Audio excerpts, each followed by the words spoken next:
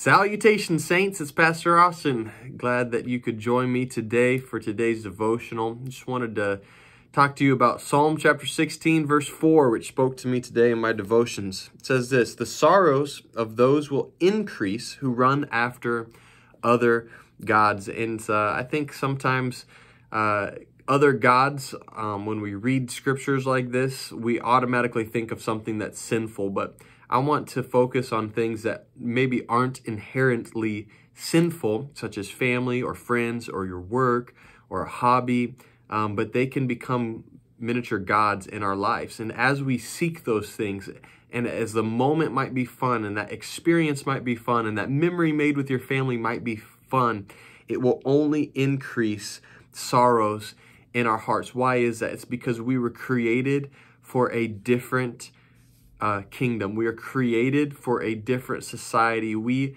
were created with eternity on our hearts, and we know that there's nothing here on life that can substitute what we were created for. I think of Jesus' words in Matthew chapter 6, where it says, Seek first the kingdom of God and his righteousness, and all of these things, meaning all of these needs, what you wear, what you eat, where you'll sleep, all these different things will be taken care of. Do not worry about tomorrow. Do not worry about all of these things, but seek God's kingdom first. So, how do we seek God's kingdom?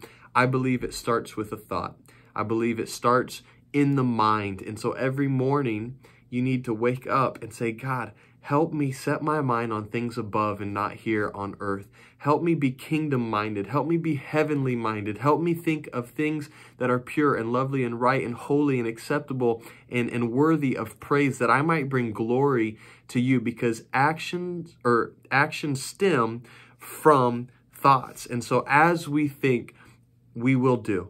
And uh, I just want to encourage you that you can think a lot about your family and you can think a lot about your work and you can think a lot about your hobbies and that is going to lead to actions in those areas of your life. But when we start to think a lot about God, God will lead us and he will bring about the actions that are necessary and the needs that we need to, to accomplish in our life. You know, it's good to be a good father. It's good to be a good mother. It's good to be a good spouse.